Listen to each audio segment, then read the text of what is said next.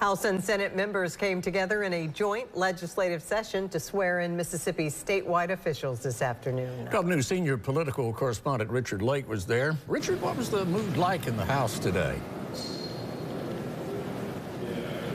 Yeah, Walt, it was all uh, applause and a bunch of optimism as Mississippi's group of fully incumbent statewide officials were sworn in uh, with friends and family besides them. And, you know, every statewide official from state auditor to insurance commissioner and secretary of state took the oath of office this afternoon.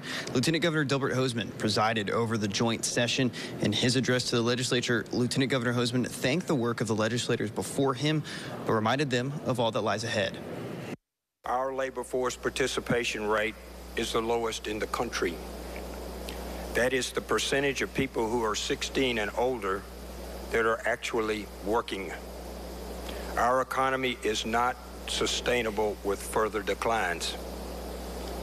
Economic development will wilt without an educated workforce to retain it.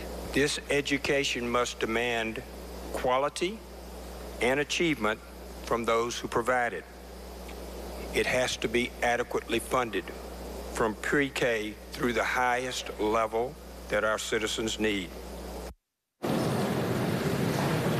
Lieutenant Governor Hosemann also mentioned the need for comprehensive health care reform to help aid Mississippi's struggling health care system. And we'll have more on what was a very busy day here at the state capitol at 5 and 6 o'clock. Reporting live from the state capitol, Richard Lake, 12 News.